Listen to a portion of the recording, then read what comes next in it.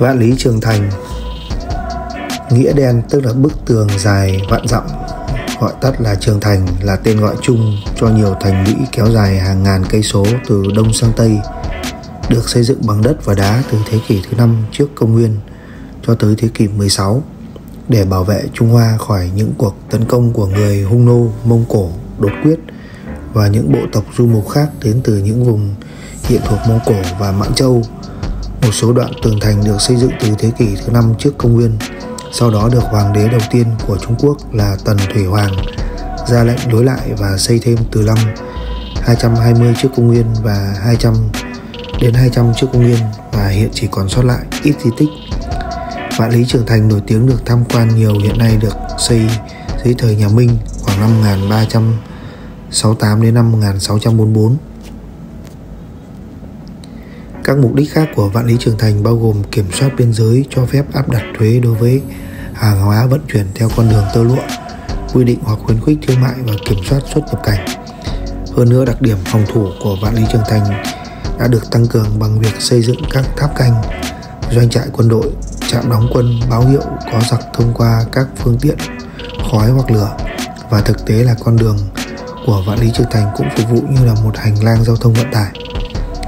Một nghiên cứu khảo cổ chi tiết sử dụng những công nghệ hiện đại được công bố vào năm 2009 kết luận rằng Vạn Lý Trường Thành do nhà Minh xây dựng có chiều dài 8.850 km nó bao gồm phần bức tường dài 6.259 km, phần hào dài 359 km và phần lá chắn tự nhiên như đồi sông dài 2.232 km.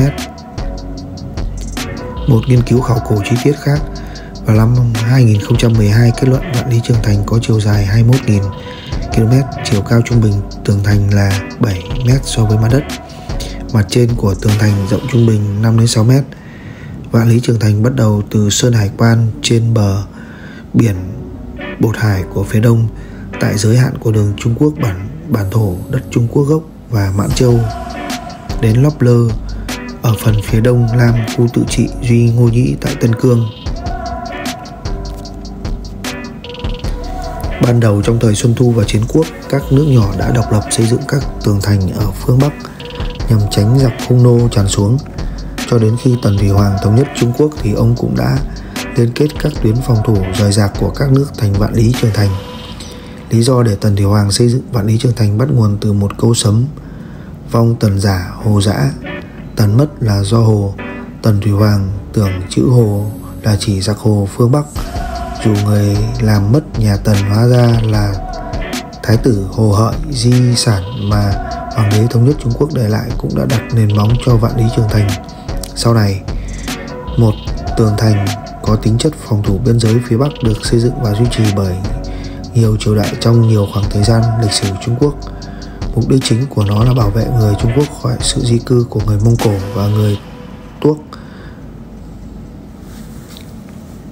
Có 5 giai đoạn hình thành chính của Vạn Lý Trường Thành.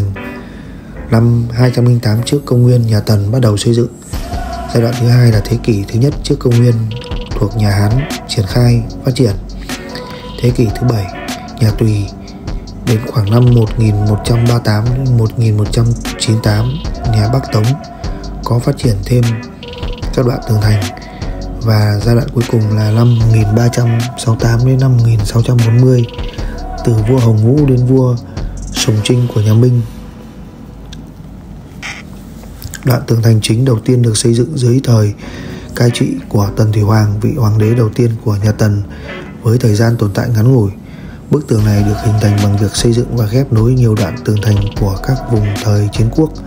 Bức tường được nối vào nhau ở thời gian đó làm bằng đất nện với những tháp canh được xây ở các khoảng cách đều nhau.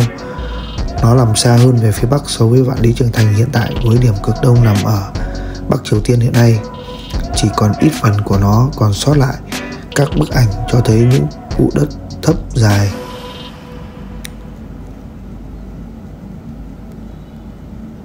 ước tính 300.000 binh lính với vô số tội nhân quan lại phạm lỗi, nho sĩ không tuân lệnh đốt sách, vân vân, phải làm khổ sai trong miền rừng núi trùng trùng điệp điệp mùa đông thì lạnh buốt, nước đóng băng, mùa hè thì không khí nóng như lung, mù mịt cát bụi. Trên thành cất những đồn canh và có đường rộng chạy ngựa được giữa các đồn với nhau. Không biết bao nhiêu lời than thở, bao nhiêu nước mắt của thân nhân những người đó. Không văn nhân, thi sĩ nào chép lại hết được. Trong dân gian còn truyền lại nỗi khổ của hà, nàng mạnh khương. Nàng thương nhớ chồng đi 10 ngàn dặm đường để thăm chồng bị bắt đi xây thành đến nơi thì chồng nàng đã chết rồi. Xung quanh chỉ là rừng núi và đá. Không biết kiếm xác chồng ở đâu, nàng tuyệt vọng khóc mấy ngày mấy đêm. Khóc tội lỗi chính, cái thành cũng phải mùi lòng tự động tách ra cho nàng tìm thấy hải cốt chồng.